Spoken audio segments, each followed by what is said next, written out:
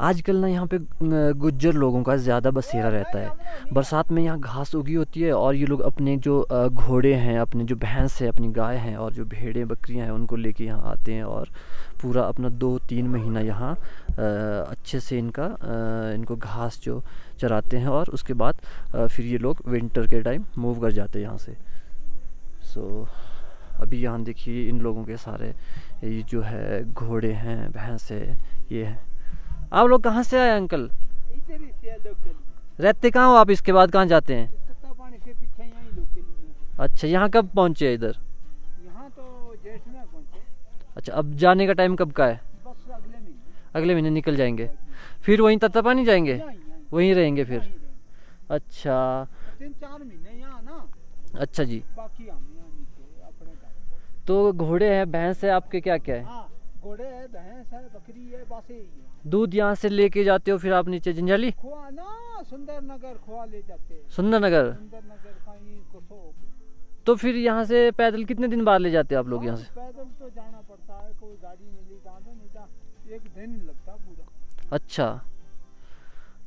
देखिए कितनी hard life है इन लोगों की बहुत बट ये लोग अपना यही काम करते आ रहे हैं कई पीढ़ियों से।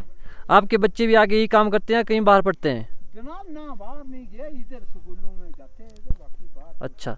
नहीं कई लोग ऐसे होते हैं कि जिनके बुज़ुर्ग काम करते हैं बट उनके बच्चे पढ़ रहे हैं। आज आजकल मैंने ऐसा सुना है कि जो नए ज़माने में ना लड़के काफ़ी पढ़ रहे हैं तो उनके बुज़ुर्ग तो करते हैं ये चराने का काम। हाँ।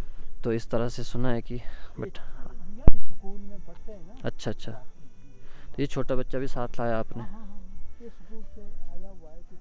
कुछ दिन हो गया अच्छा इसको। अच्छा अच्छा।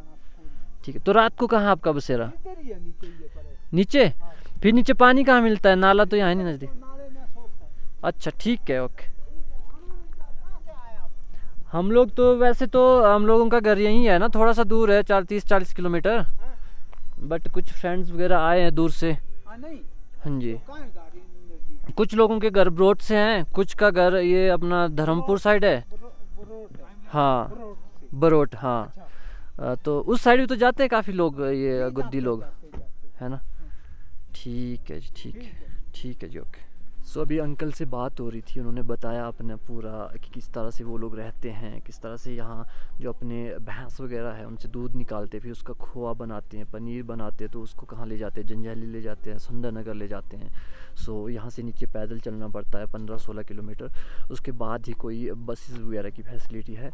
यहाँ से नीचे तो ये लोग पैदल ही जाते हैं, सुबह पैदल जाते हैं जंजैली तक, शाम को वापस आ जाते हैं। और जितना भी इनका अपना काम हुआ बिज़नेस हुआ, जो भी हुआ, उसका पैसा लेके फिर वापस आ जाते हैं।